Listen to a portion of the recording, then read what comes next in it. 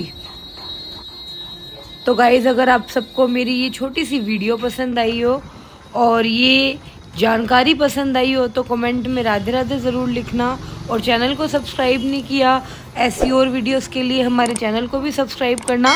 साथ अगर आप इन चार भवन के अंदर रुके हो, जो कि प्रेम मंदिर के बिल्कुल सामने केशव धाम रोड पे हैं तो मुझे कमेंट करके ज़रूर बताना, अपने रिव्यू ज़रूर देना। मिलते हैं किसी नेक्स्ट अच्छी सी वीडियो में। तब तक के लिए मेरी तरफ़ से आप सभी को राधे राधे